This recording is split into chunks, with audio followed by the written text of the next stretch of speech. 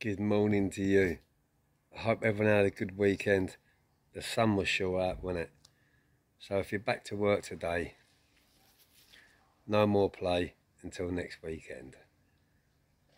Unless you're self-employed and you work from home. Welcome to my channel guys, Ballstall Boys Towers. The reason why I'm being quiet is because it is quite early-ish in the morning and I live on a very quiet cul-de-sac road with a lot of elderly people around me. And what I have got for everyone is respect. And that's the number one thing what you need in life is respect. I treat others how they treat me with respect. Those that don't talk to me I don't talk to them. I don't hate on them I just don't talk to them. They're not part of my life I have no negative people in my life.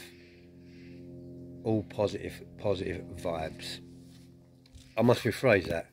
There is some negative people in my life, but them negative people are the ones that are reaching out to me, and they're the ones that want my help. And I'm very grateful to be able to help them in their recovery and whatever they're going through in life. So the reason why I'm doing this little podcast, guys, is what helped me move on in life so much was going onto a podcast, telling my story. It just felt like there was a weight lifted off my chest. The minute I sat in a chair and started talking, it just all unravelled and I just couldn't stop talking if you go onto Sean's podcast, what I've been on, you'll see on there, it's like two and a half hour, three hour podcast. But yeah, I found that very um, rewarding, um, talking about my story because it was it was it was helping me in my recovery. Um, and I needed to look at my previous life in a different angle, um, you know, and start using it to uh, inspire others not to follow follow my footsteps. And that is what I decided to do to go onto my journey. Um, and to use it to deter anyone from thinking committing crimes and taking drugs is glamorous because there's only a few of us left still here to tell the tales. I'm 54 and I feel very, very fortunate that I'm still here to tell the tales because let me tell you something, I've lost fucking loads and loads and loads of mates to suicide, overdose, murder, it, the list goes on and on and on. So I feel very privileged to be here talking to you guys. And um, the reason why I'm here talking to you guys is because now I'm, I'm a real person. Uh, there's no fakeness about me whatsoever. I don't talk about people behind their back.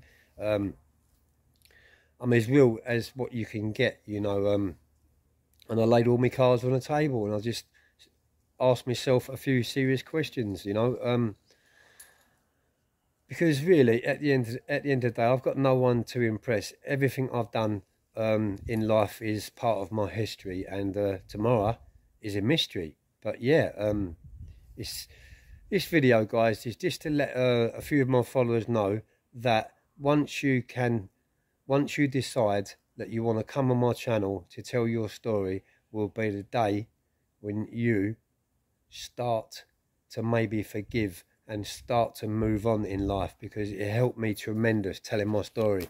And i'm still going on different podcasts now um, talking about my story because it helps me. Every time i talk about my past it helps me.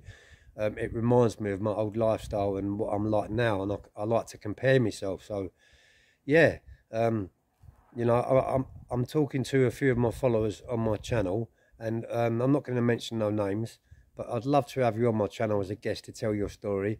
We haven't got to unravel all your past, and we've we can only, if you want to just talk about the things what you feel you want to talk about, that's fine with me. Um, you haven't got to put everything in it, and you can just put in whatever you want to put in, whatever you want people to hear, you can talk about, and um, the rewards you get from it is you'll come away from it a, a completely refreshed person, like you've offloaded something off your chest, um, and it takes a hell of a lot of a lot of strength to get to that position where you can actually tell your story. So when once you get to that position and you're at that position, you're in a very very good place in your life because that means you're laying your cards on the table and you're being honest.